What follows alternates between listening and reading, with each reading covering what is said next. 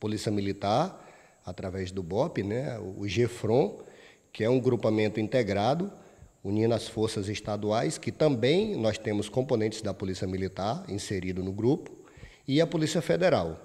Né. Foi feito um planejamento da operação, porque nós sabemos que existem os olheiros né, que ficam aí analisando e monitorando as ações da polícia, mas dessa vez não funcionou, né, devido à ação integrada das três forças.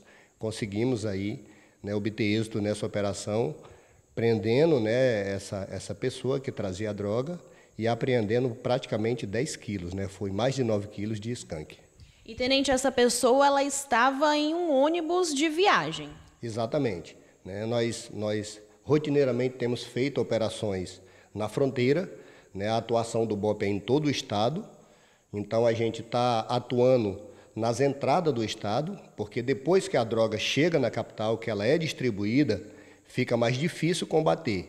Então a gente está indo lá na raiz do problema, né, fazendo diversas operações, juntamente com o grupamento de GEFRON, né, e a Polícia Federal, Polícia Civil, as forças de segurança têm trabalhado bastante né, nessa modalidade para combater tanto o tráfico de droga como também o de armas. Né, que é, no caso são mercadorias trocadas por veículos, muitas vezes, que são roubados aqui da capital e entregues no, no país vizinho.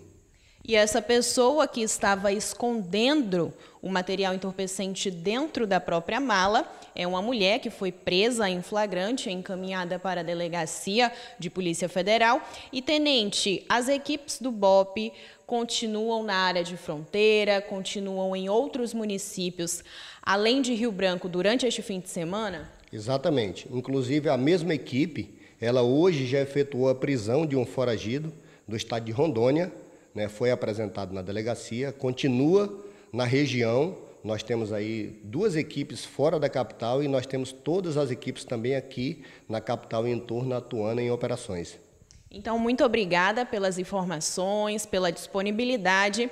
Astério Moreira, agora seguimos com você aí do estúdio, com imagens de Clériston Amorim, Aline Rocha para o Gazeta Alerta.